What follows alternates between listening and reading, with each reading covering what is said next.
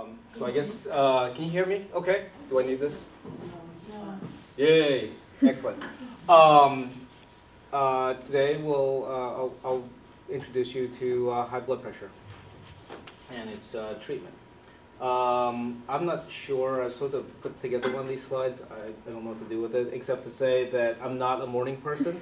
Um, not at all and I just got my coffee too. That's a shame. But uh, I will ask you um, to help me by uh, participating a little bit. Um, uh, in a little bit, uh, I'm going to ask you some questions, and uh, I'm just going to ask everyone to raise their hand. Anyone had uh, uncontrolled hypertension and had a stroke, so they can't raise their hand? Okay, good. Um, all right, so today's learning objectives. We're going to define hypertension we're going to uh, describe at least two risk factors for having uncontrolled hypertension. Um, describe three ways to uh, measure blood pressure. We'll actually describe more, but I'm going to ask you to come away with at least three ways. Uh, come away with the uh, four classes of antihypertensive medications that are preferred uh, for treating patients with high blood pressure and um, give you at least uh, five ways to treat high blood pressure other than with medicines. And so uh, since this is the beginning of a clinical series, I thought we should start off with uh, a patient. Uh, so this is Mr. Lee. Uh, he's actually from a, a photo stop company, but we're going to call him Mr. Lee. He's 57 years old, and he's a truck driver who has high blood pressure, and he's overweight. His blood pressure, uh, when he was referred to you, uh, was 158 over 96, and his blood pressure is, I'm sorry, his BMI is 28. His doctor had already prescribed him hydrochlorothiazide and amlodipine, but she doesn't think he takes it consistently. Um, and as you start talking to him, you know, you get some sense that he wants to lose weight, but really doesn't have the time. He has cut down on uh, smoking from two packs a day to two to three cigarettes a day, which, you know, is a win. And uh, for exercise, he likes to uh, watch baseball and lift the cans, uh, uh, isotonic uh, exercise. but this is only when he's not driving. So your first visit, he tells you, you know what? I'm not even sure why I'm here. I don't have hypertension. I only have high blood pressure. And I can feel it when it's up, so I don't even need to take my medicines except when I can feel it. That's okay, right? Have you heard this before? I, mean, I don't know how much experience you've had with this yet, but you may, you may hear this. Uh, so, okay, time to raise your hands. What should you tell Mr. Lee about hypertension? Uh, A, that hypertension and high blood pressure are the same thing that B, even without symptoms, his risk of having a stroke is uh, four times higher than if he had normal, high, uh, normal blood pressure. Uh, C, that you can give him some hope and say, you know, everyone can uh, get blood pressure control, uh, and we can talk about that. Or D, since you guys uh, are focusing heavily on this, and I think it's important, nothing, because this is motivational interviewing. You're going to turn it right back to them and say, well, why do you think that? So who thinks A? Who? Okay, we got A. Who thinks B? C? Uh, you can. You can keep raising your hand as many times as possible. Okay. Who thinks D? Motivational interviewing.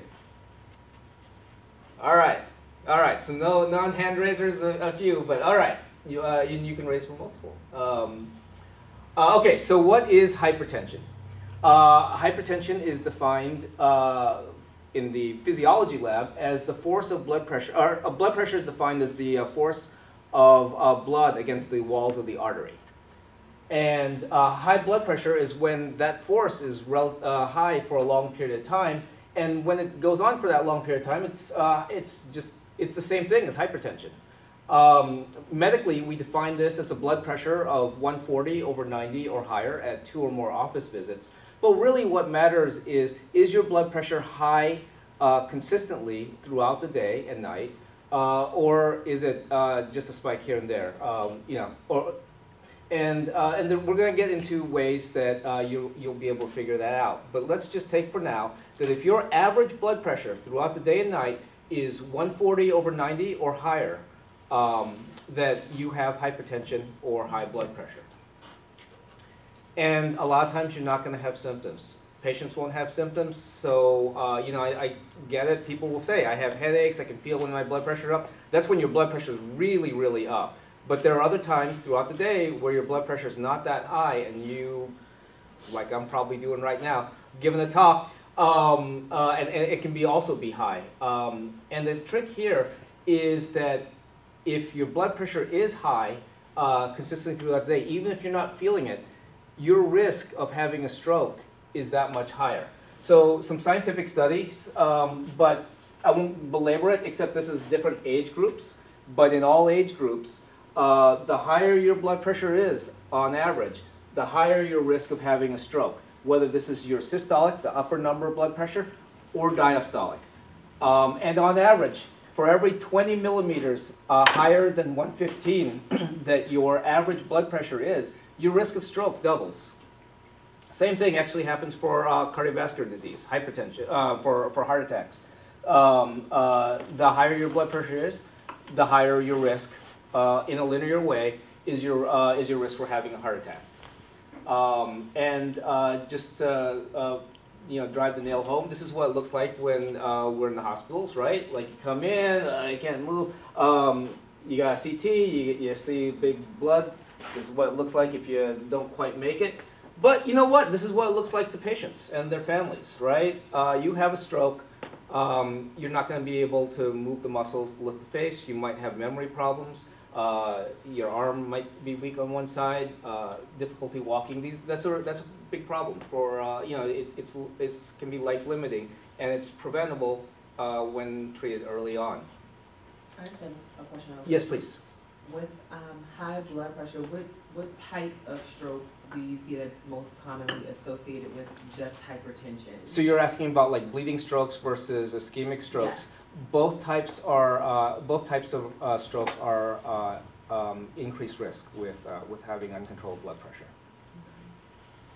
Other things um, that are uh, you're at risk for with uncontrolled blood pressure, uh, heart disease, as we mentioned, congestive heart failure, where the fluid backs up on the lungs, atrial fibrillation, um, which is um, related to the congestive heart failure, but it's uh, where the heart uh, uh, conduction issues are, a problem. And this is the one where, you know, this is the most common uh, arrhythmia.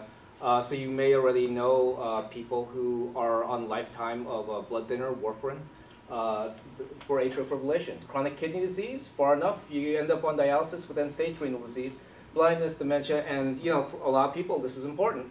Uh, erectile dysfunction uh, can also be an issue uh, without uh, um, controlling blood pressure. Okay, so yeah, that's the scary part of the story. But here's, the, here's some good news. Um, over the past 15 years, we have improved hypertension control in the United States.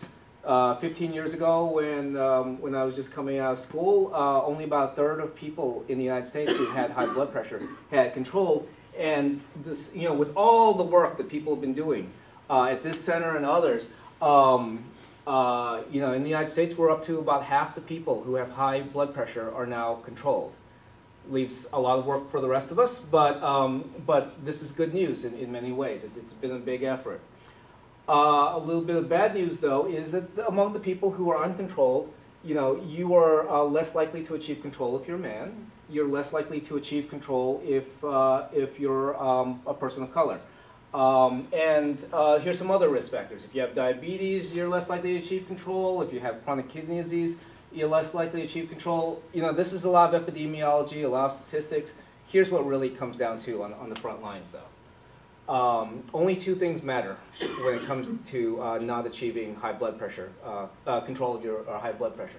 Either a provider, uh, you know, may see a high number, but says, you know, well, let's just put it off and there, then you don't end up getting a prescription to treat it or, or, or advice on how to treat it, or uh, patients aren't uh, taking the uh, treatments that uh, are known to be effective. Uh, there are plenty of treatments out there, but these are the two that really, when it boils down to, it's, it's either this, that, or both. Um, and so as uh, case managers, as, as care managers and, and community health workers, this is where you can come in because if you recognize that somebody really could be treated and, um, and you know, have their treatment escalated, uh, but aren't, you can suggest this. Uh, if um, they aren't taking their treatment, you know, it's a, it's, a, it's a good time to find out, you know, what's going on, and maybe there is a good reason for it, and maybe there's a good reason, but there's something, there's a third way that you can, uh, you can address that. So, Um, hand raising time again. Um, what should, wow, yeah, wow, these didn't pop up. Uh, what should you tell Mr. Lee about uh, hypertension? Oh, I'm sorry, these are the answers. Uh, and so, yes, uh, the answer is all of them. All of them are true. Um, high blood pressure, hypertension are the same thing, st increased stroke risk. Uh, it can get controlled, um, but you know, perhaps now that you're meeting him, the best place to start is, uh, is asking him, reflecting back. What, what makes you think that? And, and learn a little bit more about him. Because um, in terms of uh, learning a little bit more about patients and, and their providers really, there are a lot of reasons why those two things that we, uh, you know, that, that lead to um, blood pressure not getting controlled happen. Uh, from the provider side, you know, I, I'm guilty of every one of these things, right? You see a patient in clinic, and you're not sure. The patient says, you know, my blood pressure was low at home. I don't know why it's so high here in clinic, but it's probably, you know, you're like, well, I could give you a medicine, but you could, you know, if I overtreat you, then you get dizzy and fall and break your hip. How's that any better?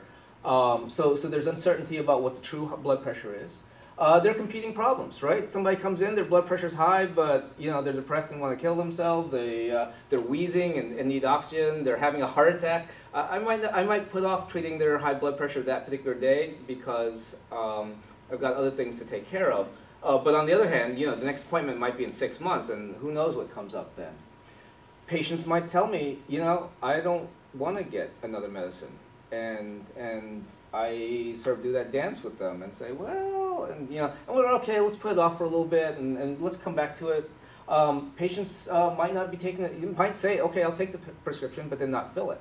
Um, maybe it costs too much, maybe they didn't like the side effects, maybe they don't really want to think about having high blood pressure or those pictures of the stroke, uh, the bleeding blood in the brain was too scary. Uh, sometimes it's just not right, right? You know, I, I'm busy driving my truck, I'm trying to get a business up, and you're asking me to think about this one more thing, I, I don't have time to think about it. Lots of reasons uh, not to either prescribe treatments or adhere to treatments. Um, and the trick here is to figure out, well, it's not one or the other. Sometimes there's a third way. Maybe you can um, take care of both of these things at the same time. Let's find out. Um, so, you're starting to ask Mr. Lee some questions. And it turns out he says, you know, I'm not even sure if I have high blood pressure anyway, right? Here's, here I've been keeping a log, uh, you know, he keeps it right next to his uh, mileage log. And he went to see a uh, back surgeon for back pain and the blood pressure was perfectly fine. He stopped off at a Safeway and the blood pressure was up. Stopped off at a health fair in uh, Tacoma and the blood pressure was a little bit better, but this one was high, but that one was not. You know, uh, and then the last couple with his PCP were high, and that's why he ended up getting sent to you. So what's the story here? Is the blood pressure high? Is it low? Uh, who's right? You know, is, is maybe the blood pressure uh, shifts uh, from uh, um, up and down all the time. So, so here's a question for you. Now, okay, back to hand raising time. Unless you have questions. I thought I saw. Oh, well, I was just like, I, I think when you said the, the spine surgeon, Uh huh. it, was manually taken. Uh huh. Sometimes when you do it manually, people uh, guess it or estimate it. Mm. Yes, And indeed. then, um, And then with the PCP and with that reading, I'm kind of like, well, are they doing their own monitor, you know, the, the machine monitor, so that kind of just kind of black out. Yeah. Yeah. Yeah. Yeah. So that's leads right into my question for you.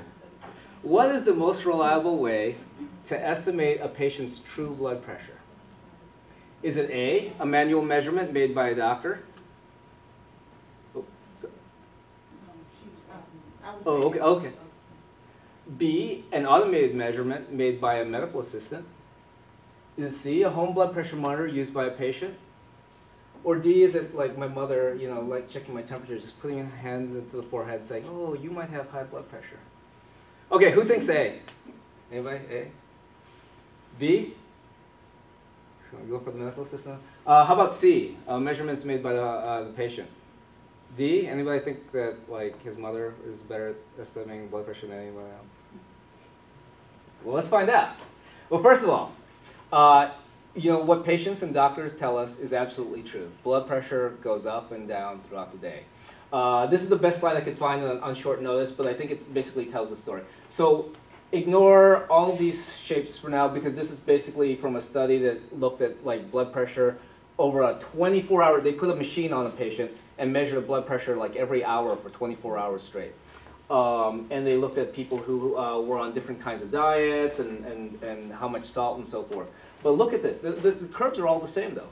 Throughout the day, blood pressure is relatively high, and then it dips at night, and it comes back up. And even during the day, at uh, 8 in the morning, it's a little lower than 6 o'clock at night.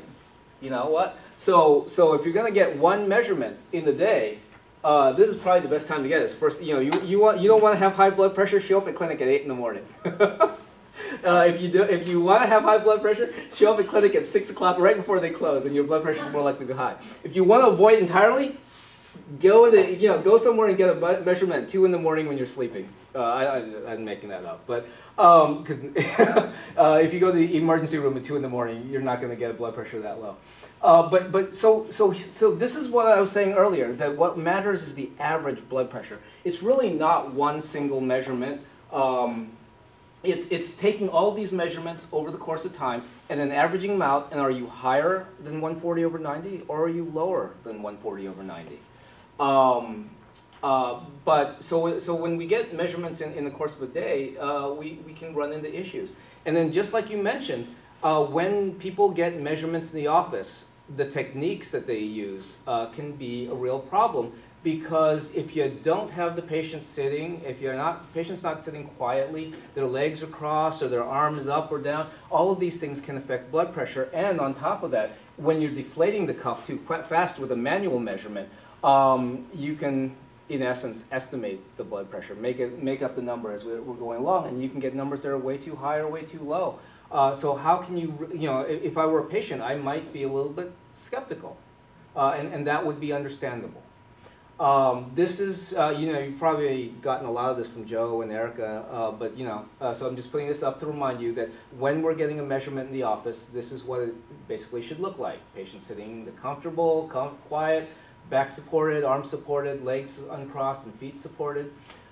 Um, because when we don't do this, uh, this is uh, this is the result of a study of over 4,000 patients. Oh, look at that! Um, and what they um, what they found in essence was that uh, if you get a single manual measurement in the clinic, uh, it's, and the higher number, the systolic number is between 120 and 157, you really didn't have you, you had less than 80% certainty that, of knowing whether the patient's blood pressure was truly high or not um, which basically means that you know a typical reading between those numbers can be misleading if you're only checking it once. Uh, so, and the implication there is get multiple measurements, but instead of asking the patient come back three months later, six months later, three months later, and it's a year before you get enough measurements, we've got to find ways to get multiple measurements more quick, uh, um, uh, you know, faster. The um, this is from the same study, and they basically asked, like, well, how many measurements do you need in order to be certain whether the patient is high, you know, has high blood pressure, or, you know, classify patients as having high blood pressure or low blood pressure?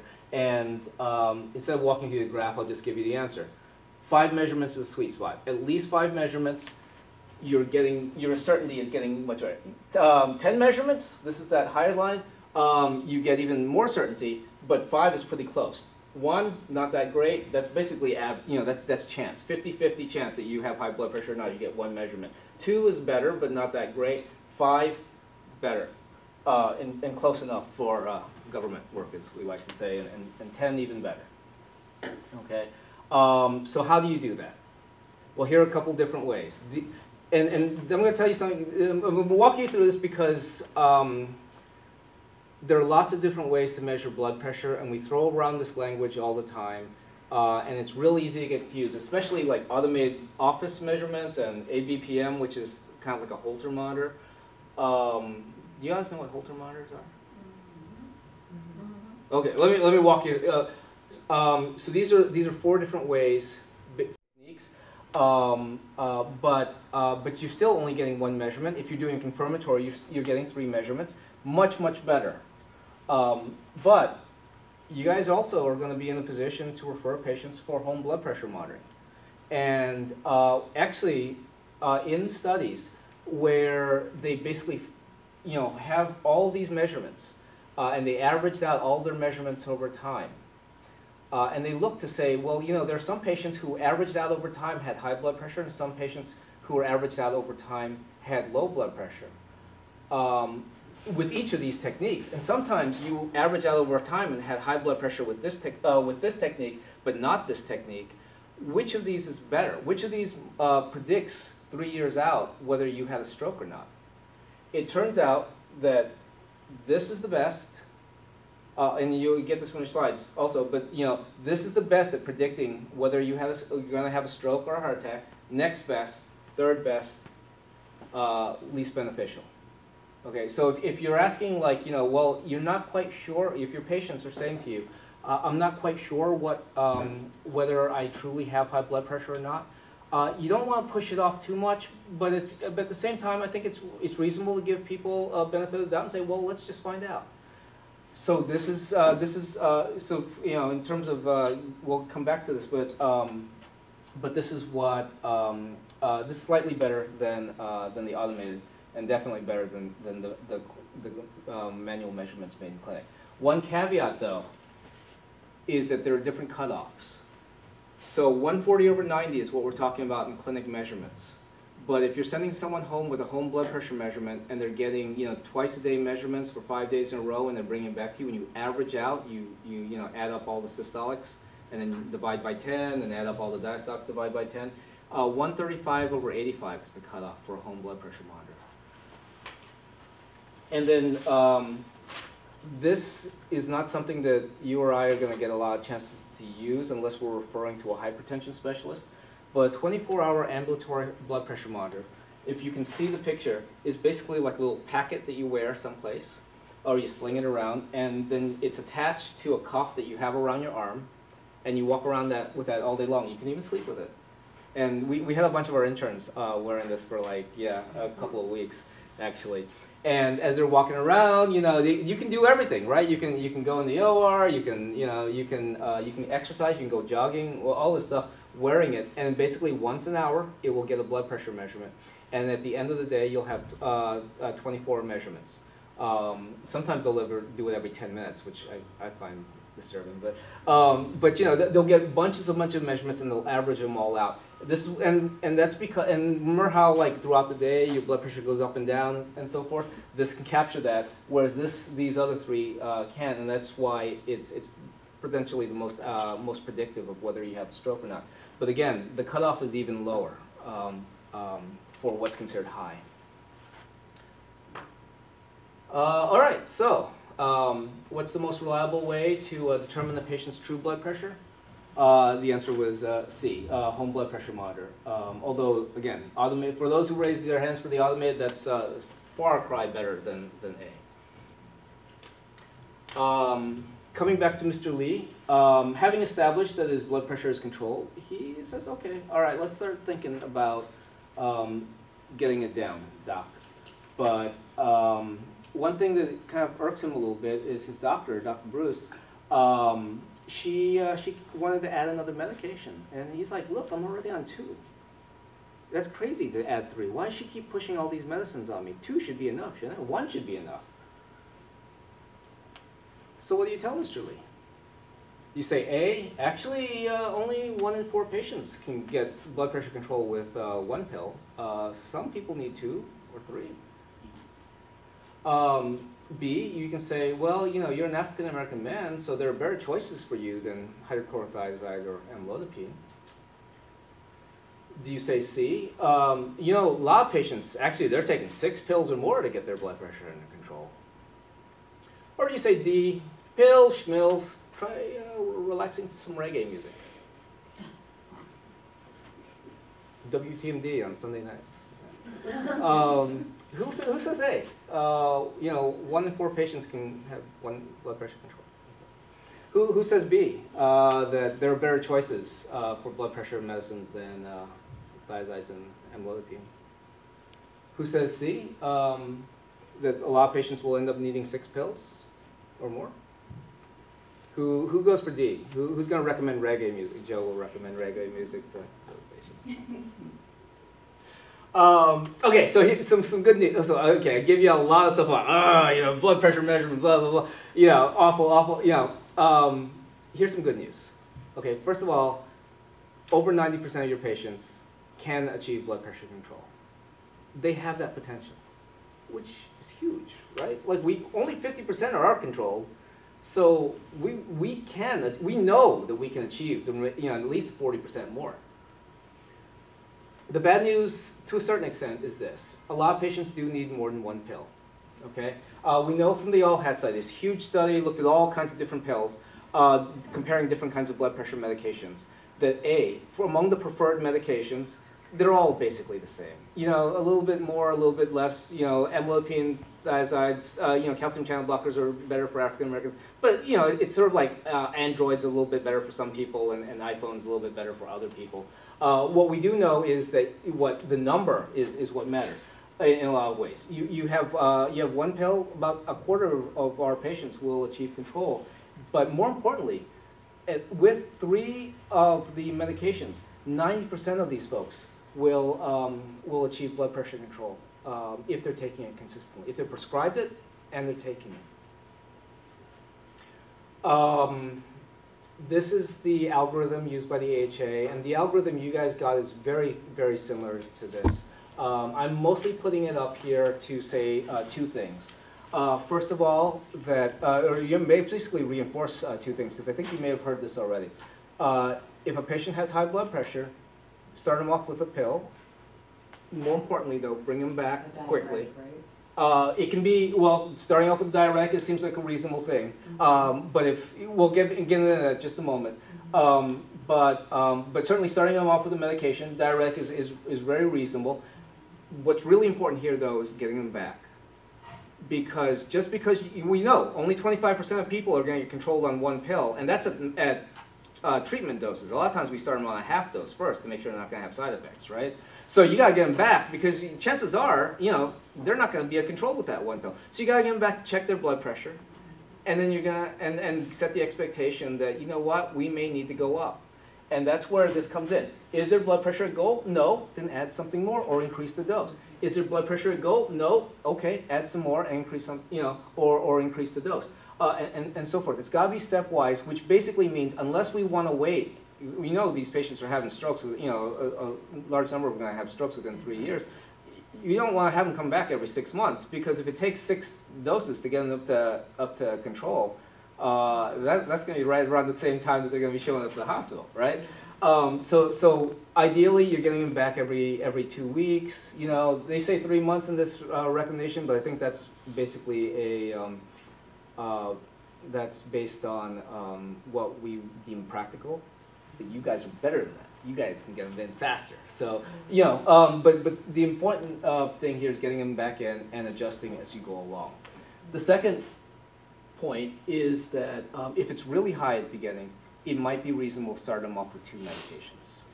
That's, this, uh, that's basically it for the algorithm. On the back, um, you know, I go, oh, sorry, and then um, that there are four classes of preferred medications.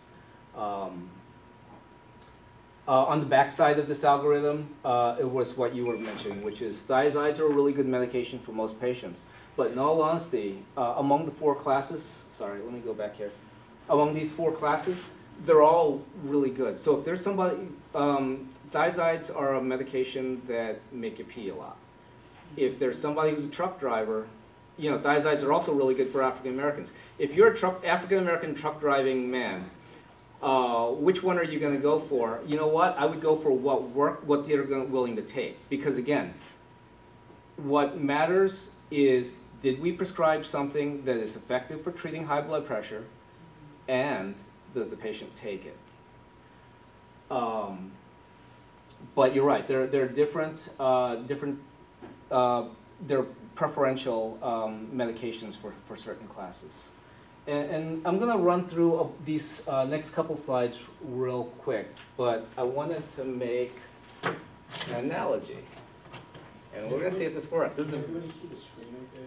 Like, I could dim more the lights if you want. I have a question. yeah, please. Have you ever looked at or saw a study, um, I did just recently in my own studies, um, had to pull up some information about blood pressure and a piece of my assignment was to sort of look at cultural differences and then how to treat, how to best treat hypertension according to one's culture. And so I was doing some research, I looked and I saw something about, um, some races, um, have lower amounts of renin.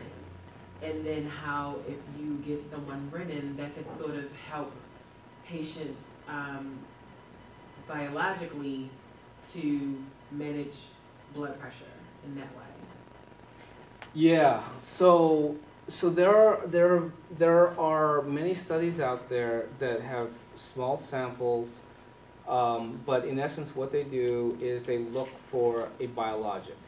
Um, and where these studies fit, at least from my perspective, where these studies fit in the whole grand scheme of things, is somewhere along the way, um, uh, let's just say a drug company, right? But a drug company says, uh, you know, we need to figure out, we need to manufacture a molecule that will treat this condition. And they're looking, you know, there, there's an infinite number of things that our bodies are just so complex. And so before, long before the drug company, there were, there are scientists, uh, people who work in, uh, at the bench, uh, you know, either with plates or with yeast or rats or, uh, or people, uh, graduate students a lot of times. Um, uh, looking at Joe here. Um, and, and they're looking for, uh, for targets for the biologic. And so this is a study, these are the kind of studies that I think about like as looking for targets uh, for the biologic molecules. And so they look and say, okay, well renin does this, and then you make these arguments and stuff like that. And what happens then is if it seems reasonable and there are enough studies, the, the pharmaceutical company will develop a molecule and they'll manufacture it and they'll turn it into a pill. And then what they'll do is they'll put them in a whole bunch of randomized, uh, you know, get a whole bunch of patients, hundreds of patients, thousands of patients, and do randomized controlled studies. And half the patients will get this molecule, and half of it uh, that was supposed to address this whole, you know, the renin issue or whatever, um, and half of them will get a sugar pill, or they'll get a, a another different pill, and they'll see who does better. And um, and you know, classic, uh, you know, an example that comes from my own life is that back in the day, um, there was a there were people who said, you know what, congestive heart failure is a weakening of the heart muscle.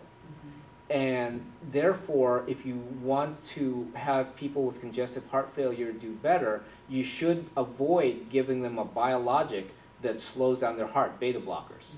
Um, and so when I was in school, I was taught, ev- or right before I started my clinicals, that, um, that patients who um, have heart failure should not get beta blockers because they were making this reasoning that beta blockers slow down the heart and their heart muscles are already weak, so their fluid would back up. But then they did these randomized controlled trials that came out right when I was starting my clinicals, and half the patients got beta blockers and half didn't, or you know. And what they found was actually this: patients who got beta blockers live longer. The heart failure and uh, getting beta blockers live longer. So, so uh, this is all a long way of saying um, that uh, um, there are uh, studies out there that you know, and they debate back and forth whether medications that um, um, affect renin levels uh, or affect the renin-angiotensin um, pathway, which are basically ACE inhibitors and ARBs, uh, angiotensin receptor blockers, um, uh, are more likely to be beneficial in certain uh, racial groups than others. Um, but in the end, what it comes down to, and this is, you know, this is actually feeds right nicely into the point I'd like to make, which is for our purposes, the purposes where we're working with patients and taking care of them. Um, if that is something that um, uh, a patient will say, I would be more likely to take that medicine, then I would go with that. But if on the other hand, they're saying like, you know what, I hear you're saying it's better for African Americans, but I can't take this medicine because it's giving me this side effect, then I think it's much better to have um, a different medicine.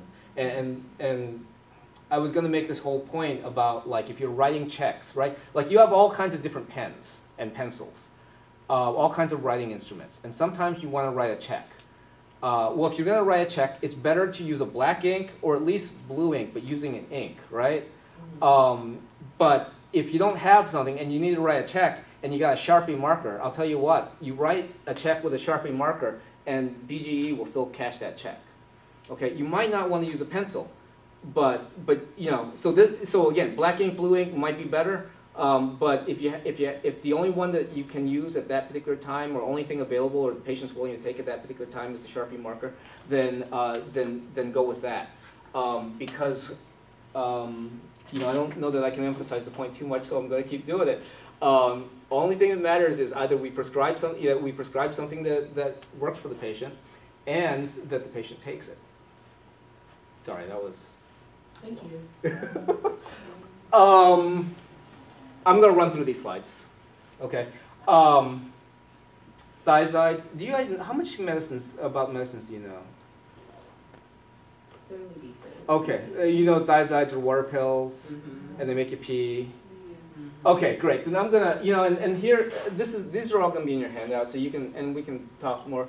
You know, these are the preferential groups, but I think if you've probably heard anything from me, it's probably that, you know, these are preferential groups, it's great to consider it, but in the end, what matters is that the patient gonna take it.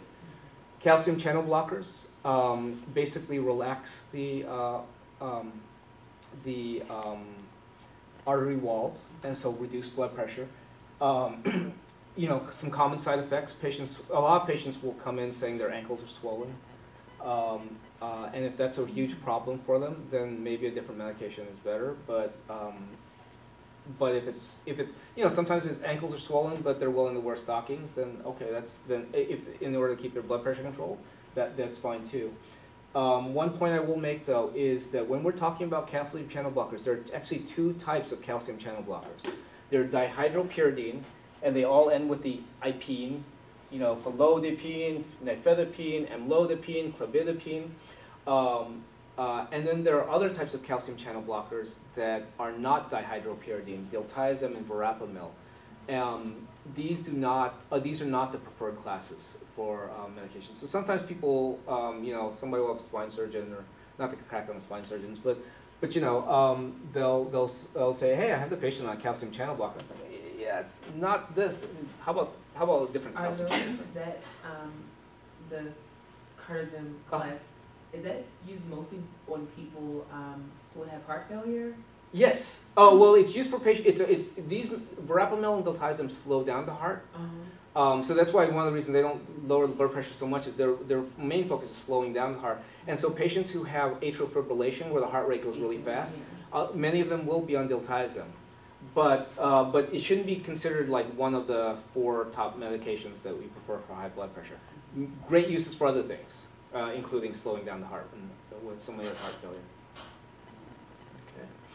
Um, ACE inhibitors um, attack the renin-angiotensin system, and uh, you know um, there are a lot of reasons to think it's good for uh, different preferential groups, including diabetes, if you have chronic kidney disease, heart failure. Uh, in fact, you know uh, you get a little uh, message from the hospital if you try to discharge a patient with uh, heart failure without one of these medications. Um, uh, but some common side effects that you do want to be aware of. Uh, cough is really, really common, and if you have a cough, then, and the next class of medications, the angiotensin receptor blockers, much better substitute. Okay, everything that an ACE inhibitor can be is good for, an ARB is fine for too. So, uh, so if you've got a cough, ARB is a real easy substitute. That different kind. Cough sounds like that actually. Yeah. The other thing that you need to be aware of, though, um, is that these medications are teratogenic. They will cause uh, malformations if the fetus lives, uh, or a lot of times will just uh, will cause a spontaneous abortion. So, uh, women who are thinking about getting pregnant, or uh, you know, just got pregnant, they really should not be on this class of medications. Okay, and then finally, um, this class of medications very rarely, but uh, enough that I've seen it, um, can cause swelling of the mouth, lips, can actually cause anaphylaxis and cause you to, you know, that's where like an EpiPen, go to the ER, never be on this medication again.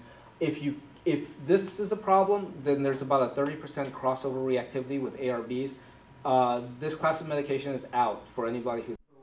Then there are people who will. Right. But I still felt some kind of way about the medication because of what I saw it did to a person. Uh, how many people in here have kids? I don't know. kids, but, um, how many people here, uh, send their kids to school? Okay. Um, anybody here wouldn't send their kids to school because every now and then somebody, um, you know, comes into school with a gun and does horrible things? If I had a kid, I wouldn't send my kid to that school. No, a school, any school, No, right? Not that school. The, the larger, the larger point I'm making is this, is that, um, there are literally, uh, hundreds of thousands, if, you know, hundreds of thousands, not millions, of people who, uh, take these medications every day. Why do I, because there are literally hundreds of thousands, actually, there, there are, you know, millions of people, sixty-nine million people in the United States have, um, have high blood pressure. You know, how many more have diabetes, kidney disease, so forth?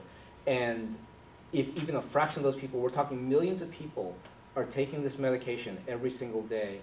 Among those people, you know, in my lifetime, uh, practicing, I've seen maybe three or four cases. If I was an ENT guy, I might see more, but, we're talking, you know, one in ten thousand people have this reaction. And it's a reaction that if you catch it, you, you deal with it.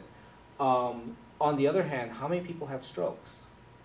Okay? Lives of people. All right, you know, that, that picture of the, I, I was questioning whether to put the picture of the brain with a big blood ball in it, you know, um, but that happens all the time. It happens much, much more than, than angioedema. And so, you know, maybe the school thing was a little, little, um, uh, cavalier with the school thing, but, yeah, drastic, um, uh, with, with school shootings, but, but the larger point is this, we have to go through life and, and do things. And if you, and so it, it is important to weigh, uh, risks and benefits. And in terms of the risks, I'm bringing these up because these are important for you to recognize. These are the top three things for you to recognize. Um, but, but on the, but that's because you are on the line now, right? Patients are gonna be coming to you, and you're gonna be able to say to them, you know what? If you're having these symptoms, you probably shouldn't be on this medication, let's go, you know, you're gonna be doing medication reconciliations. This is gonna be part of, you know, your, your job now is, is figuring out whether somebody coming in with lips swollen or having trouble breathing, wheezing, uh, is due to any one of these medications, and, and now you are better equipped to, to recognize that lisinopril would be an issue. But that does not mean that, you know, the other, you know, uh, nine hundred thousand people shouldn't be on, nine hundred ninety-nine thousand people shouldn't, uh, be on it. It's just, we're, we're, that we're part of the line, and we're, we're, you know, trying to catch the few that, that have a problem. What I have seen, being a nurse from the hospital, is that patients have been on lisinopril for years. Bam, here we are with the allergic reaction. Usually angioedema. And they like, well, I don't understand, I've been on it for years, but what patients don't understand is, um, a reaction don't necessarily have to happen when you first start to take it. It can happen anywhere throughout the period that you are taking the medication. That's right. I have another question to add to that. Um, from a research perspective, is there any information or literature that would, you know, like show a provider, like what, um, types of questions to ask that would sort of make the provider think that the patient is allergic to this class of medication? Are there any, like, lab tests, um, genetic biomarkers that would suggest that somebody would have an allergic reaction to this class of medication? Um, not, not anything that's practical. The, the best thing that you can do, um, and it's come up, I know it's come up earlier in, uh, this week for you, but the best thing that you can do is to interact with your patients regularly and to talk to them and get to know them as people and to, you know, have day in, day out conversations. This is the information that allows you to, when they happen to offhand mention, half the, you know, over half the time that I, I make a big diagnosis is because someone just says, you know, doc, I happen to like you, we're talking baseball or whatever, and then they basically say, and by the way, my lips have been swollen. And you're like, what? Because, because you're already thinking, you know, you have this, this in your armamentarium now. Um, but, uh, so it's not so much like a blood test, the, the, the blood test, the magical thing that comes out of the box is you, like, talking with them regularly. Um, the uh, final class of the top four medications is the angiotensin receptor blocker. Uh, the uh, generic names will all end in Artan, Candesartan, Olmesartan, Losartan. Um, very similar to the uh, ACE inhibitors uh, in, in many ways. You know, they're good for all the same classes. Um, they work in basically the same um, part of the system, the renin-angiotensin system. Um, and the um, allergic reaction is, uh, is also an issue. The one difference is that whereas cough is really common with ACE inhibitors, um, you can substitute uh, this medication for ACE inhibitors if someone's having a cough and they're cough, they shouldn't have the cough. Okay. Uh, I'm going to throw out two other medications. These are the four. Remember what I said, like, you know, three classes of medication, 90% of patients can get controlled. Um, these are, these are the top four right here. Uh, but every now and then, there are going to be people who need some second-line medications. If nothing else, you know, people have some sort of side effects or whatever. So I'm going to throw out the next two that, uh, that are in the preferred categories, which are beta blockers. These medications slow down the heart. Uh, they all end in the OLOL. Um, they, some of them are once a day, some of them are twice a day, which, you know, can help with adherence. Um, um, some common side effects that you may recognize, uh, run into though, if someone is on these medications and someone's complaining, um, feeling tired all the time or worsening depression, which can often look the same as feeling tired all the time. Or, or if someone's complaining about those things, and there's another thing that could be substituted, like, you know, hey, you're not an ACE inhibitor. Um, uh, this might be something to suggest to the PCP is, hey, the patient's feeling tired all the time, could it be the beta blocker? Uh, and then finally, rarely are you going to see this, but this is this is inside baseball. This is what hypertension experts find they're not used enough, or the potassium-sparing diuretics, uh, spironolactone. Um, you know, just uh, be careful about you. You know, doctors should be careful about using them with kidney disease and, and high levels. So coming back to our question earlier, what do you tell um, Mr. Lee that uh, very few patients are controlled with just one medicine? Sometimes you um, need two or three. Um, but on the other hand, you're not going to need six either. Okay, you just need to be taking them. So he says, okay, okay. By the way, how are we doing on time? Just out of curiosity. Um, our, well, there's a break at ten, and it's nine fifty-five. I'm going to flush through this real quick. Yeah. Um, because this is, this is, I think, is where your, the- I saved, I saved your, uh, your, the money tools, uh, for you. Um, although I'm gonna ask you this. What's the most effective? Of all these things, what's the most effective for lowering blood pressure?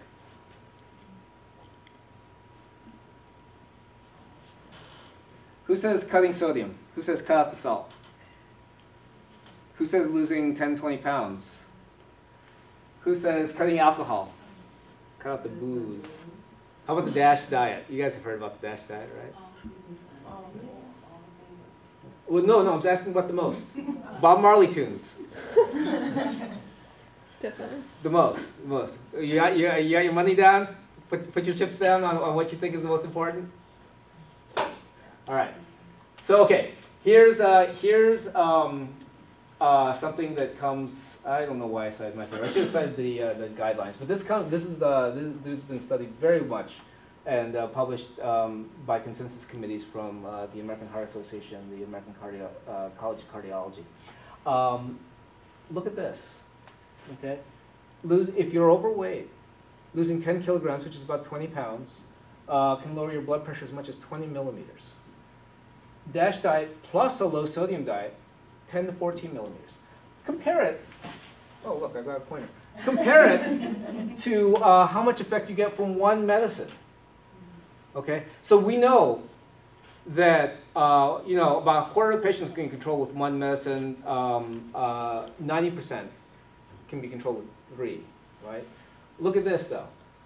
If you're losing weight and you take a DASH diet, instead of, if you needed two, maybe you only need one. If you needed three, maybe you only need two if you can do these other two things.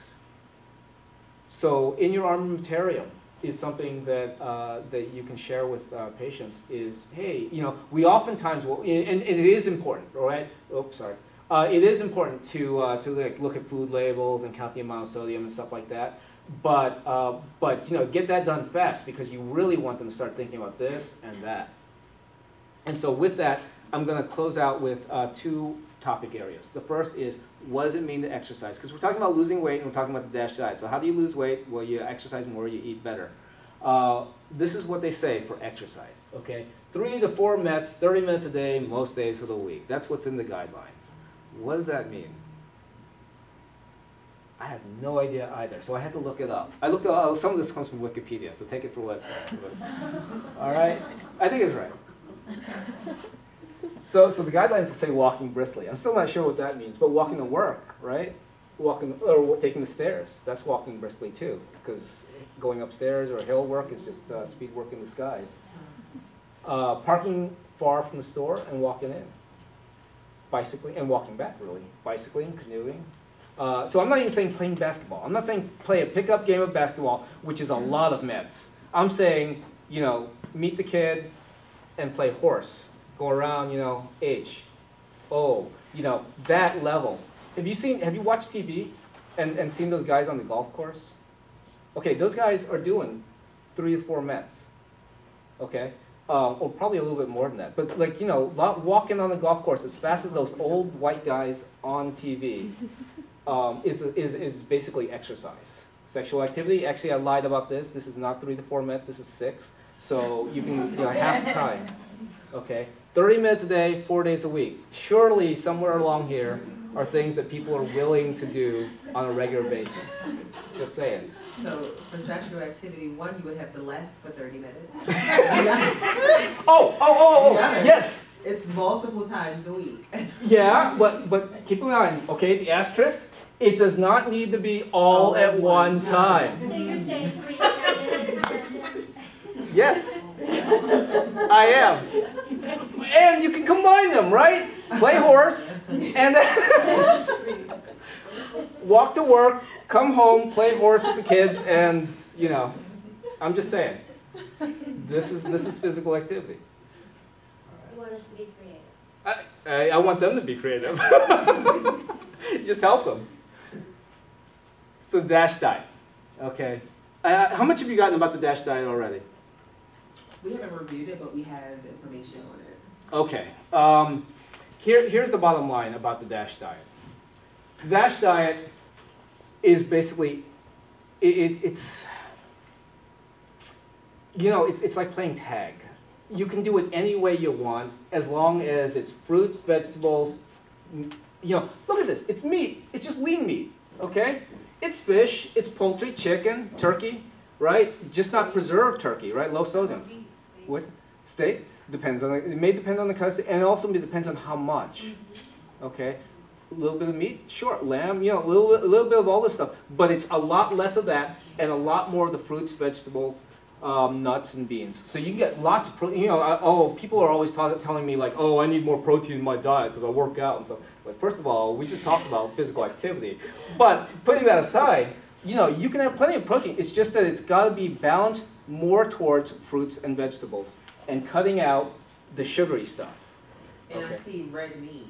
No, limited, I should, I should have put, limited in sugar sweetened foods, limited in those beverages, and limited in red meats or, I had a steak last night. Cause you gotta have a good piece of steak and a good burger. well, so what does that look like? So people are always, yeah, okay. Because you're doing motivational interviewing, right? And people are gonna be like, look, I gotta have a steak. That's fine. We'll talk about like, what's the size of the steak and how much of it in the course of your meal. Right? And what else are you, where else are you getting your calories in the course of the day? So, you know, a filet, so if you're gonna go, you know, this is an excuse to go quality, right? You, you know, little like, s- yeah, four ounce filet mignons, right? And a big old side salad? Yeah, that's, that's a dash diet. In fact, let me show you some, okay? So this is not a dash diet. This comes from Brent Egan um, in South Carolina, and he got some families. He's been working with some families. Uh, this is how, so people are always like, oh, I can't be on these hypertension or cardiovascular diets because they're too expensive. I'm like, let's, you know, so he, he was like, well, let's look at what is in your home, right? $342 for a week's worth of this, which is definitely not the DASH diet. Uh-huh. And if you go the other extreme, right? Um, uh, by the way, you can buy this. But uh, you can go the other extreme. Look, these folks are living on a dollar twenty-three a week, okay? And this is definitely the DASH diet. But of course, you're saying to yourself, well, you know, or certainly your patient's gonna say, I need a good piece of burger and, you know, I need, a steak and, and, and some food. So, so look, these are all DASH diet. Okay, this is all from the DASH diet cookbook. It doesn't have to taste bad. I'm gonna share this with you. I want this back though. Um, uh, this is the Dash Diet for Southern Style Cookbook. Flip through it while you're looking at it. My kind of cookie. Uh, I'm going to show you in just a moment where to get it. I want that back though because it cost me five dollars to print it at Kinko's. I know it's so expensive, right? I'm going to show you where it is on the website. So this is the Dash Diet. Look at this. Look at this. All right. So what? Is that portobello? Uh, it could be portobello's. This is, is actually eggplant, but it, it could be portobello's, right? Because this is just pizza. A little bit of tomato sauce, a little bit of cheese. You, you see, you can have cheese, just a little bit on top of a vegetable instead of crust. Yeah, it could be. Portobello would be a great way to like fix that up, right? Look at this. You got you got you got your salmon steaks, your fish cakes. You got some chicken, but even here, look, there's beef there.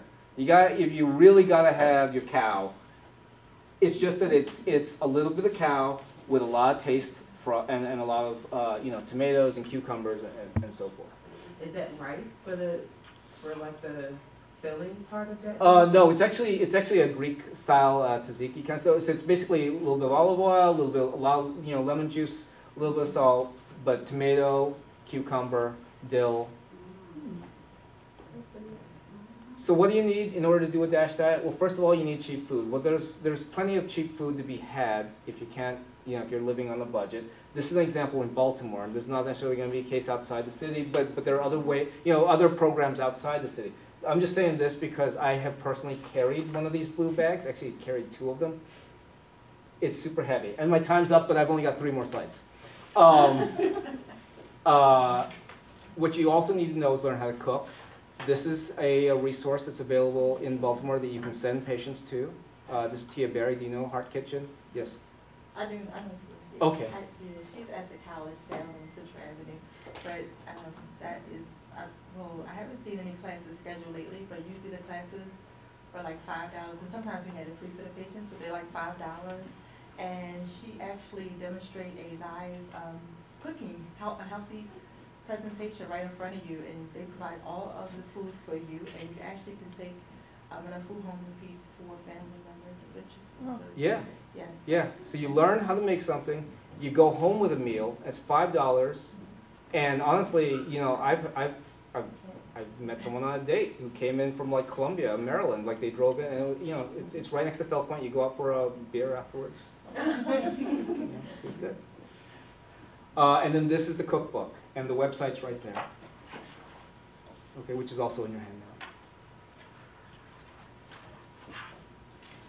Um, okay, so, you know, losing twenty, uh, losing, uh, weight was the most effective, but, um, so here's the summary, and, um, thank you.